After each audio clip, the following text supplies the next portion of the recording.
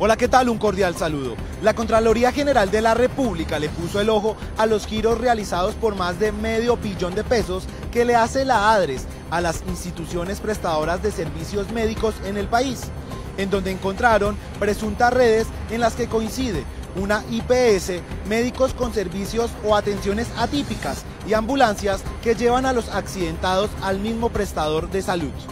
Los más de 25 mil millones de cobros por tratamientos que autorizaron solo dos médicos ortopedistas.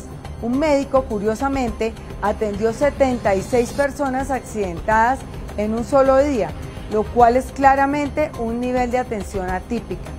Análisis en los que el ente de control se basó en más de 2 millones de accidentes en los que se estima que el 13% fueron respaldados por el Estado.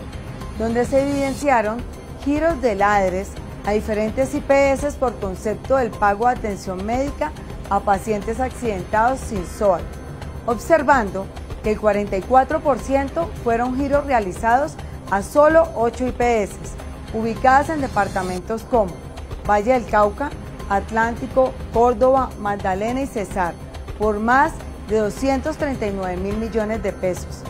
Adicionalmente, la Contraloría General encontró que dentro de las personas presuntamente accidentadas, 15 de estas habían fallecido antes del accidente, por lo que las IPS cobraron más de 129 millones de pesos. Desde Bogotá informó Edgar Ramírez. Última hora Cauca, para estar bien informado.